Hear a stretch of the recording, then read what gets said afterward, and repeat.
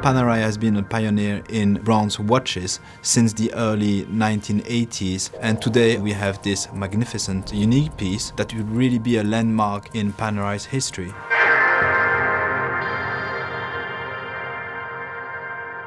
Il primo orologio in bronzo Panerai viene da un'idea molto particolare. Il bronzo è un materiale che viene usato per gli elementi metallici che erano posti sulle navi all'inizio del secolo scorso. Quindi c'è un legame col mare molto stretto.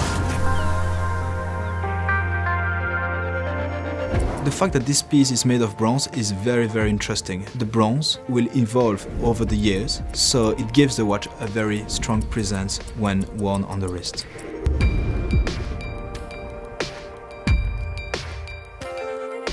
Tutti gli orologi Panerai sono unici. Questo è rarissimo ed esclusivissimo perché ha un quadrante color marrone mai utilizzato su questo tipo di piattaforma.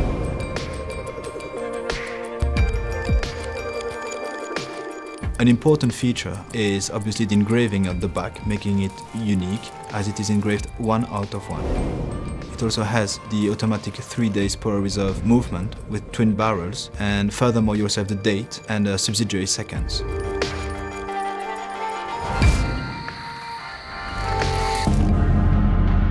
Noi abbiamo deciso di destinare questo orologio a una vendita all'asta con Sotheby, il cui ricavato sarà devoluto alla Royal Yacht Association al fine di aiutare quei giovani poco fortunati all'introduzione del mondo della vela.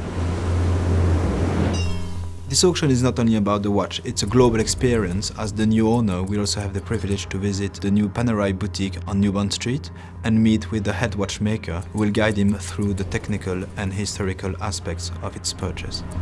Sotheby's has been organizing watches auctions with a special focus on high-end, exceptional pieces, and today it is a privilege to be part of this sale with Panerai for this charity auction.